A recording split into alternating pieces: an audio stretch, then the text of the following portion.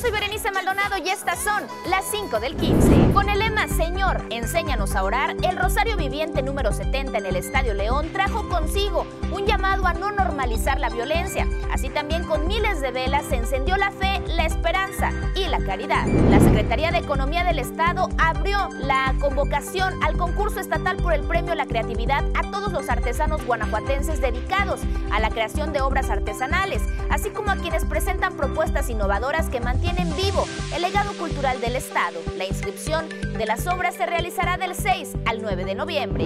Para acercar los servicios de salud sexual y reproductiva a los adolescentes, la ruta EduSex iniciará su recorrido en Celaya este lunes, pues hasta el 8 de noviembre visitará los municipios de Villagrán, Cortázar, Comonfort y Juventino Rosas. Su objetivo es dar todo tipo de orientación sexual.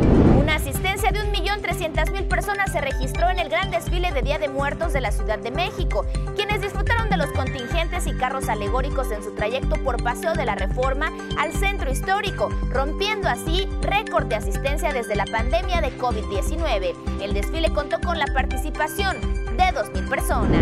Quincy Jones, el titán musical polifacético cuyo vasto legado abarcó desde producir el histórico álbum thriller de Michael Jackson hasta escribir bandas sonoras premiadas para cine y televisión y colaborar con Frank Sinatra, Ray Charles y cientos de otros artistas, ha fallecido a los 91 años.